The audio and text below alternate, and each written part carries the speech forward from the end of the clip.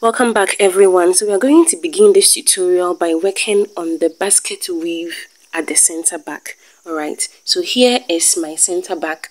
It's one piece and i transformed it into this piece by cutting it on fold.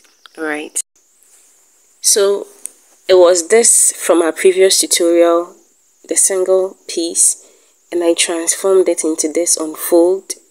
all right now this is it now the extra space you see at the sides is because I had added one and a half inches to it, which um, I realized later it was too much. You just need to add half inch allowance, alright, for joining, alright.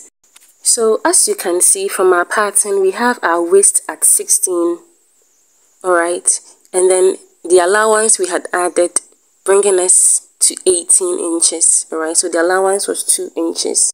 So what we are going to do is we are going to separate the allowance from the center back for now, alright, because we don't want the basket weave at the back to extend all the way to the bottom, alright. So for now we are going to separate the 2 inches from this pattern paper we'll be drafting the weave on, okay. So that is what you are seeing me do.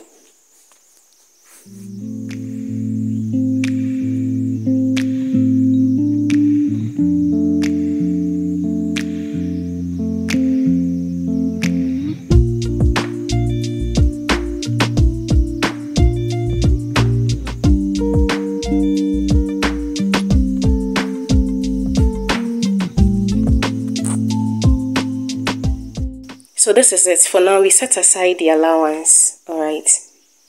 Put it aside for now.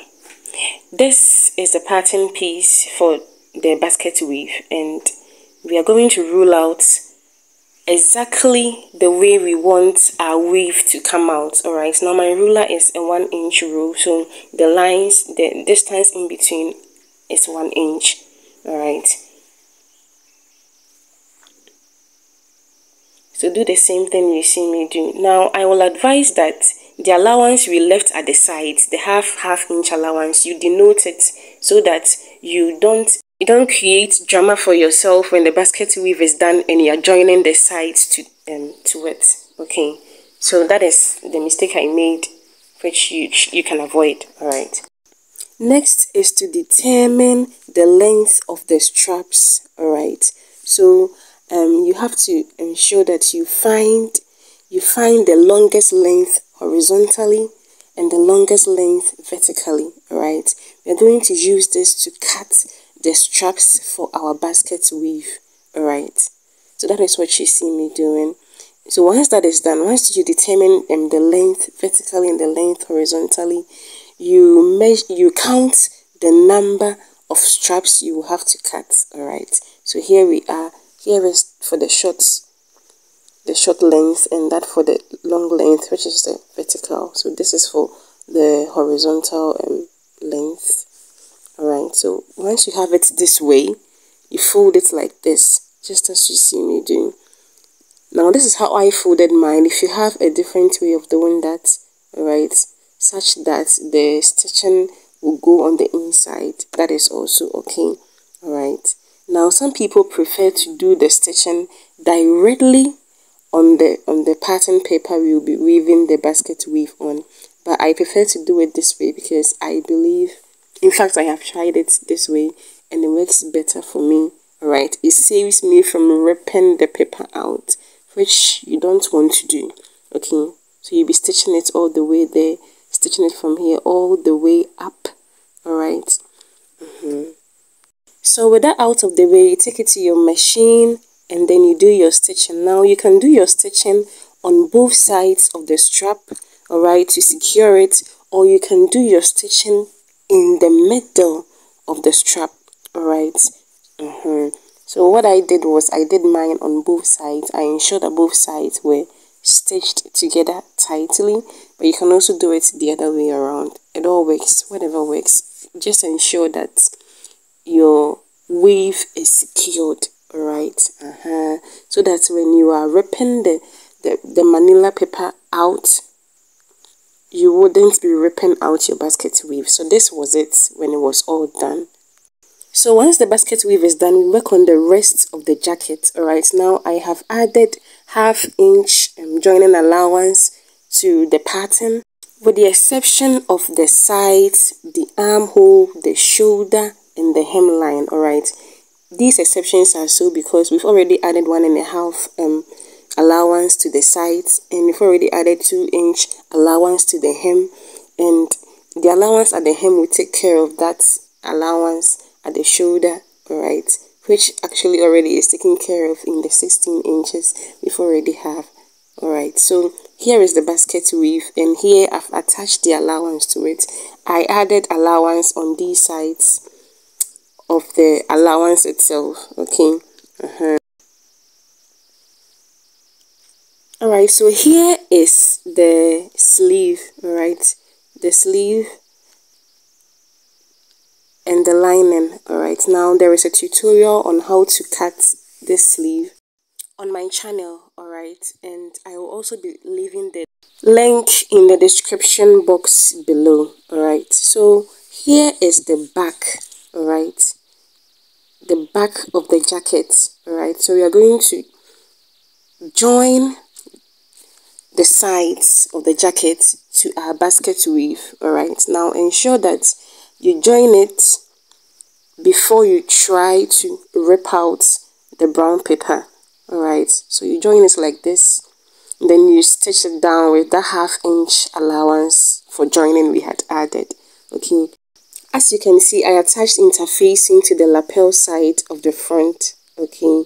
Just the front not to the lining all right so attach the same to yours. Okay guys so here are all the pieces for the front. Just the front all right uh -huh. so what we're going to do is just as we had joined the sides to the basket weave we are going to join the lapel to its sides at the front right and stitch it down with half an inch. As you can see this side of um, my pattern came out with more curve than it, it really had to alright alright so be careful when you are adding your allowances because that will give you drama and you don't want that alright so after joining the sides alright to the lapel you notch it up alright to ensure that everything lays flat once you've ironed. And then you top stitch alright so that it holds in place properly. Do the same for the both sides all right. Good. So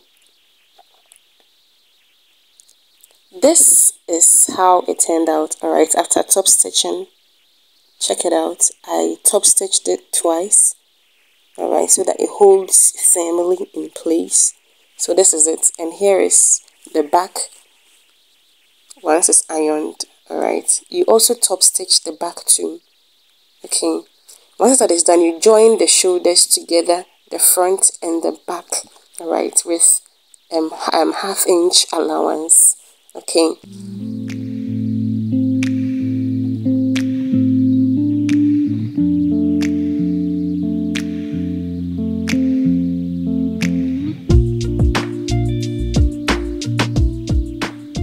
So here is the collar alright? Ensure that you attach interfacing to either the fabric itself or the lining alright?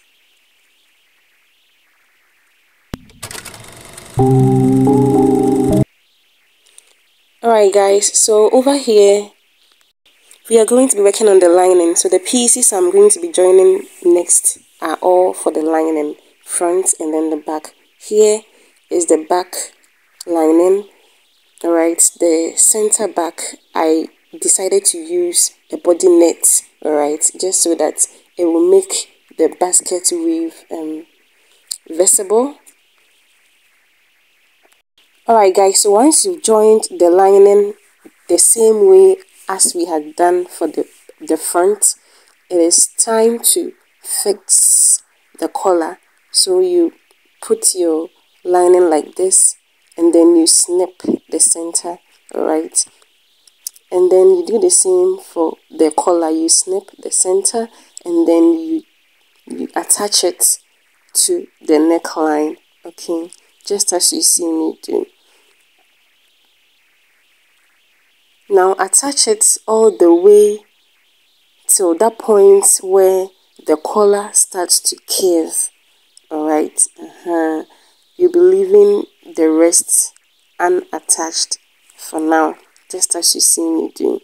Now the side I'll be leaving is about two and a half inches so I'll do the same for the other end right as I attach it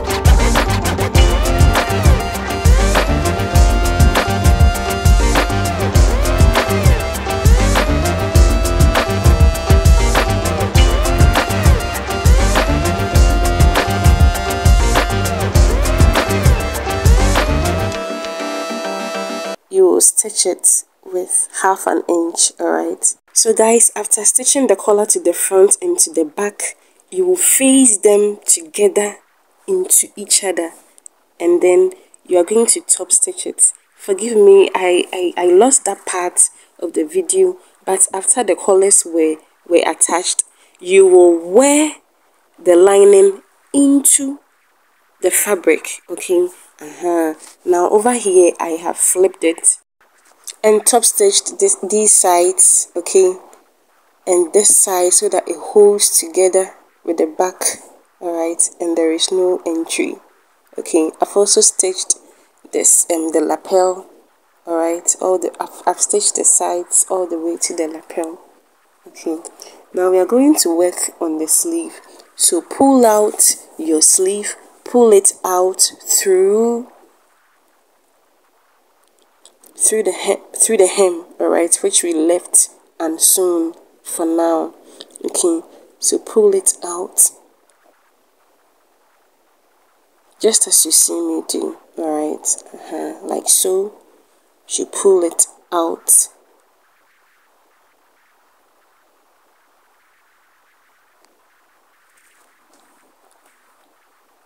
Now what you're going to do is we are going to face our lining to the front and then we are going to stitch it up right now. I don't have um any better way of describing this than to tell you to watch all right once you are watching you will understand everything you're supposed to do. So i'm going to keep quiet for now and let you watch what i'm doing.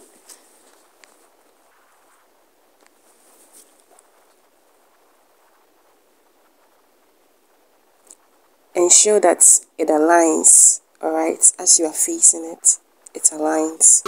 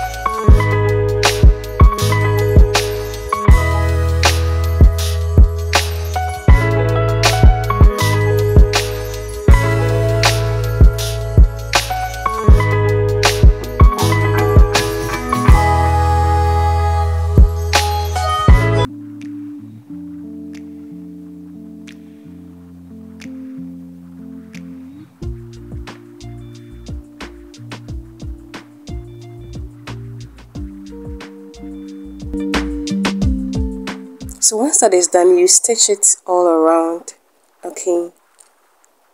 And then you do the same for the other side too. So this is what we have. Pull out your pins. Just as you see me do. And then you're going to take it back out.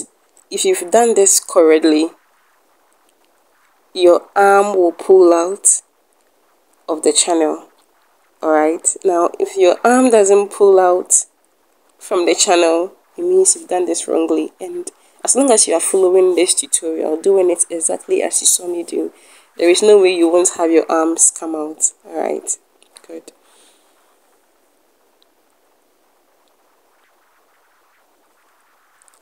So at this point it was time to fix the other side now you do that the same way you did this all right?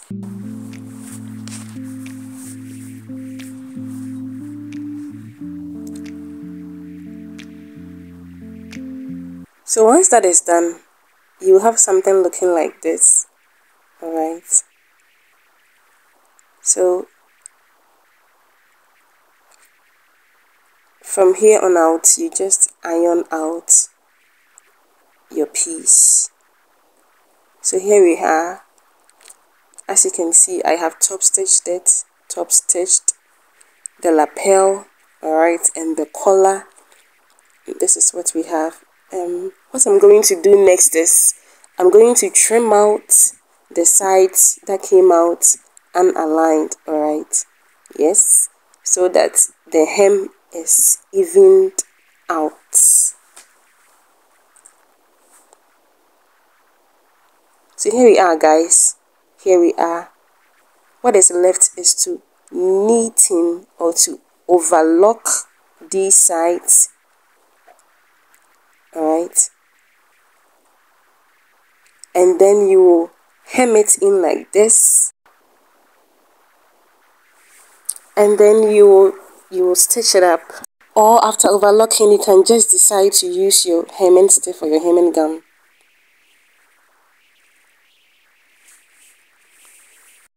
alright guys so here we are. This is it. So thank you for watching. Please like share and subscribe and see you in my next video.